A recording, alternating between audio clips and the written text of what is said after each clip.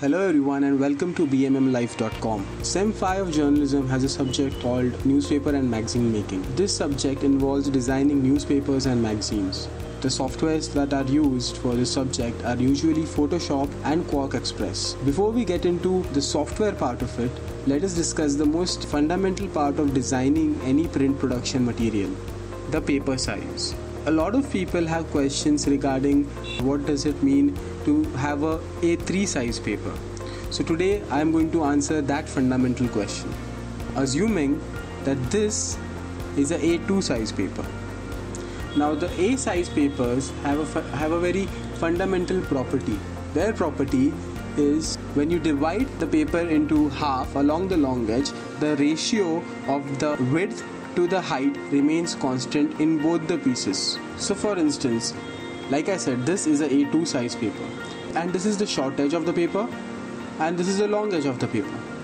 Now the ratio of the short edge to the long edge is such that if we divide along the long edge, we, the, the two sides, the two papers, the new the two new papers that we'll get out of this will have the exact same proportions as this original paper. So let's do that. A2 divide along this along the long edge and we get two A3 size papers. Similarly, when we have a two A3 size, this is the long edge for the A3 size paper, and if we divide it along the long edge, we'll get two papers again, which will have the same proportions as this. So if we divide them by two, we get two long uh, two A4 size papers if we divide the A3 along the long edge.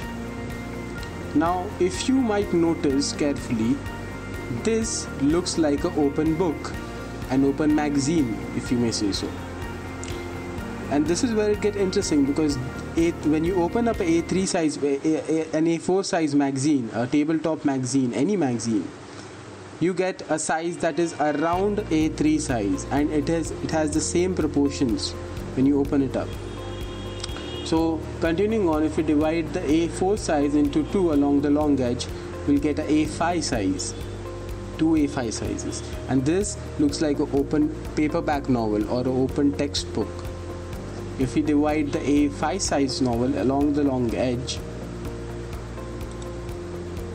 we'll get a wallet size, a passport size uh, card, if you may say, passport size uh, sheet of paper and this goes on. So you have a6 and you make you can divide it further to get a7 a8 it, it can go on to infinity.